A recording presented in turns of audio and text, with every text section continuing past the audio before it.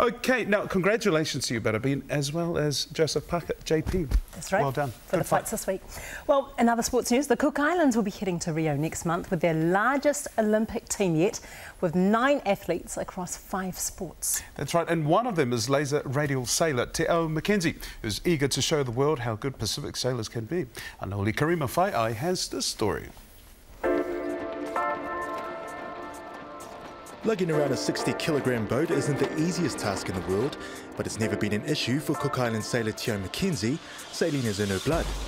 I love the feeling of like how like having speed on the water. It's just like having another set of feet, I suppose, for me, like compared to being on land. The 21 year old has been sailing for nearly a decade and it's taken her around the world. I've been to Mexico, Spain, uh, Singapore. It's, yeah, it's been an amazing experience. And in a couple of weeks' time, she'll be representing her tiny nation once again, this time as an Olympian. It's just an amazing opportunity to, you know, represent my country, represent my people, my family, um, and do the best I can to put my country on the map because, yeah, it's my home. The good news came after a strong showing at the World Sailing Championships in Melbourne last December, bringing a childhood dream to reality. I've been thinking about qualifying or going to Rio since I was 12, so it's been like a dream come true actually qualifying in the first place. Born and bred in the Cook Islands, now based in Auckland's North Shore, Teau hasn't had much time to celebrate her qualification with just half a year to prepare for the Games. My days are full with gym training. I have to bike like over four hours a week. Um, my sailing on the water four to five times a week. Seeing a sports site, you know, all of that fills my days and I'm so busy. But despite the often excruciating demands of her training schedule, Teau has taken it all in her stride.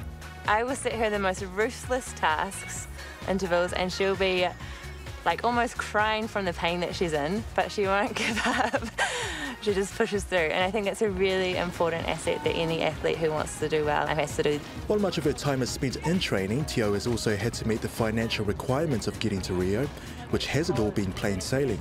She doesn't have time to work. The program I've set for her is, is quite cruel, but in a good way. and there's no time to work, so financially it does make things really hard for her with her training, but also just day-to-day -day life. And sailing is not a cheap sport. But while Te is largely based offshore these days, there continues to be plenty of support for her back home. I suppose they're all just so proud of us and how far we've come and actually going to Rio will you know with them helping us we're representing them as well. Te has her sights set on an Olympic medal but she is realistic. As one of the younger competitors on the international stage, she says there's plenty more learning to do in the sport. I'm looking forward to going to 2020, so I'm taking this on as an experience or a, a practice as such, you know, because, I mean, I'm only 21, it's my first Olympics. Yeah, I'll just see how I go and, yeah, maybe one day aim for gold. And while she'll be flying the Cook Islands flag on race day, it'll be a moment Teau hopes will also bring pride to the wider Pacific.